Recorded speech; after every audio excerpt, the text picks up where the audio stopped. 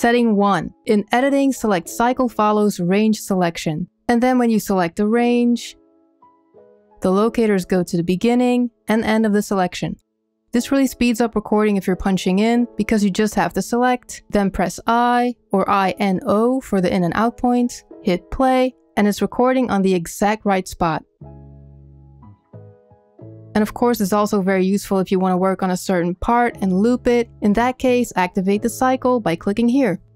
Setting 2, also in editing, in Project and Mix console, enable record on selected tracks. Very practical if you're recording so you don't have to select a track and then arm it. It all happens at once. Also on instrument tracks, if you just select them and play something on your keyboard, you won't hear anything because you either have to arm the track or enable monitoring. So now it's armed automatically.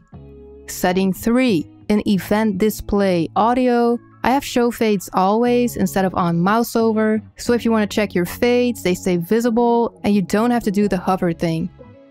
You can also do this for volume curves if you want to. And with this slider, you can adjust the brightness to make it stand out more or less. Setting 4. In record, check deactivate punch-in on stop.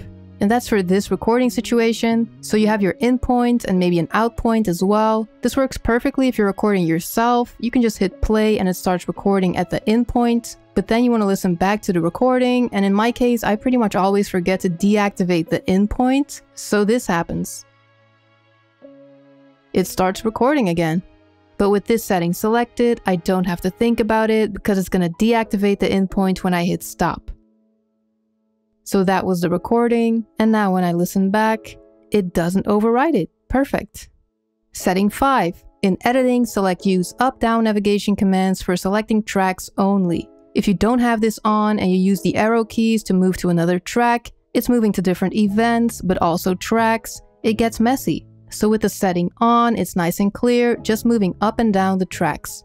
Very useful in combination with the previous setting I mentioned that automatically arms the selected tracks. If you're recording vocal stacks, for example, just go down a track, hit record, go down, record, and so on. Nice and quick. Setting 6. We're still in editing. Track selection follows event selection. Let's say you're working on an event, and you're like, let me quickly change the volume over here, but you had a whole different track selected. That's not going to happen with this setting on, because whatever event I click, it selects a track that it's on. Setting 7. Also in editing, range selection follows track selection. That's to give you this. Let's say I'm editing this. I'm just to do split range, shift X, but then I want to make the same edit here. But if I select the track and go shift X, it's not doing anything because there's no selection here. With this setting, I can select any track or multiple tracks, and the selection is active on these tracks now, so I can do my edit.